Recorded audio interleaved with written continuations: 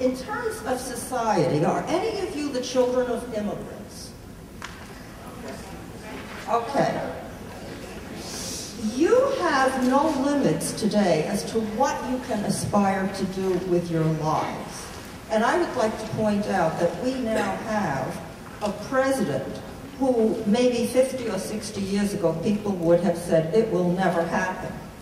And that represents a tremendous move in, society, in our society, certainly, for people to get ahead on their own merits, a meritocracy. That did not exist in Europe in the 16 and 1700s. You could be very bright, you could be very capable, but if you were lowly born, if your parents were servants, you could not really aspire to much more than being a servant. And that's what I mean when I say rigid social stratification. So in, in Europe at this time, the time of Mozart in the 1700s, uh, the aristocracy, the nobles, and the high leaders of the church, the cardinals and the bishops, were at the top of society. There were the beginnings of a middle class, a bourgeoisie, and then you had your large masses of people who were servants, who were peasants, and in some parts of Europe were serfs. Serfs were people who were bound to the land and really had very few rights. Um, another right that absolute rulers had was the right of censorship. They could prohibit the printing and dissemination of information which they thought was dangerous to them. I know you've studied the Reformation. This is correct? Yes. Aha. What technological event enabled Martin Luther to spread his ideas? Right. Very good. Printing press. I like that. Okay. Uh, so censorship was particularly burdensome in France. And it, uh, this is the era into which Pierre Beaumarchais is born. Beaumarchais was a French playwright.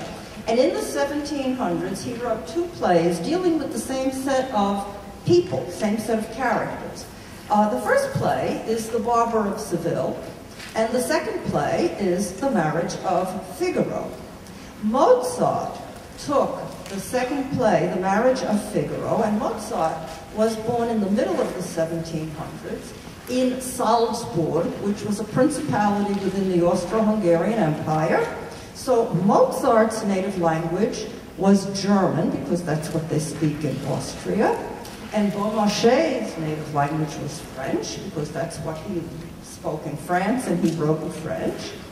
And um, Mozart and Beaumarchais co collaborate, if you will, on this wonderful opera. Uh, Louis the, XVI banned the marriage of Figaro.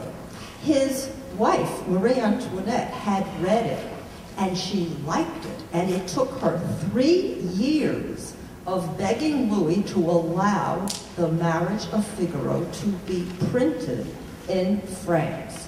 Now, what was so dangerous about this play that Louis didn't like it? It's a satire. What's a satire? It's criticism, but it's criticism in a comical way. It pokes fun. And the marriage of Figaro is a satire on the habits of the nobility.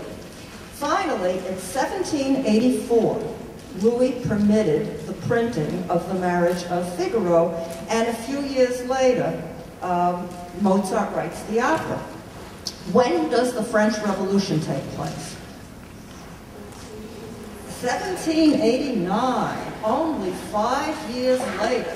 So now think of that. Five years is not a long time between the publication of this very, very satirical play that pokes fun at the nobility and the French Revolution. It's just a small period of five years. So Louis may have known he was sitting on a very unstable society that was no longer going to last. Um, if you have trouble